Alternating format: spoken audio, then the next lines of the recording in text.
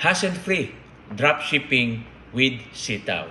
Ang tanong, paano ba magsimula sa Sitaw? Si Sitaw po ay operating sa uh, Singapore, Hong Kong at sa Pilipinas. Siya po, ang concept po niya ay dropshipping. So kailangan lang po natin dito mag-create ng store. Dito po ay no registration fee, no monthly subscription. Mag-register ka lang, mag-create ka lang ng store, then pwede ka nang magsimula. At take note, kapag nag-register kayo, huwag muna kayong pipili ng product. Mag-message po kayo sa akin, uh, tingnan nyo po yung link dyan sa ibaba, pwede rin kayong mag-register dyan, then message nyo po ako dahil kailangan po natin ng mga account specialist. Okay? So ito na po kung paano mag-register. Yan, yan, ituturo ko naman po kung paano po mag-register sa Sitaw.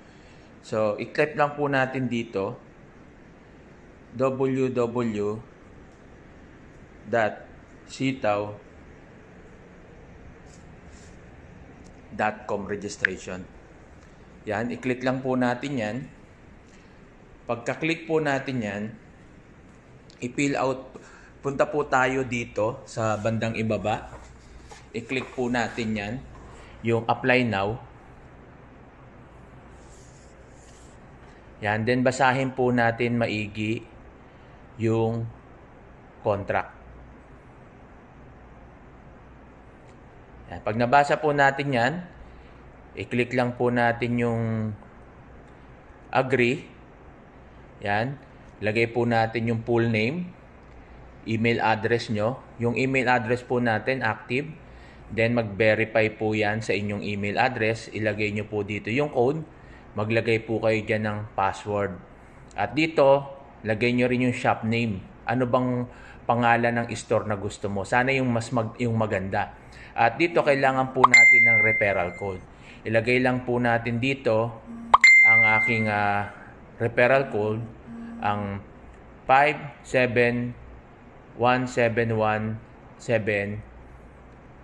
CNCR. Yan po yung referral code. Then dito po, mag, ilagay nyo lang po kung anong ID yung ipapasa nyo. Then, phone number. Then, click register your shop. Then, mag-aantay na lang po tayo ng 24 hours para ma-verify at mag email po sa iyo sa inyo si Sitaw na your uh, your store has been approved at pag approve na po yan, okay na po. At sa mga nag-register dito sa referral na to, mag-message po kayo sa akin para ma-assist po kayo at ma uh, magkaroon po tayo ng account specialist. Okay, yun lang po at maraming salamat. God bless.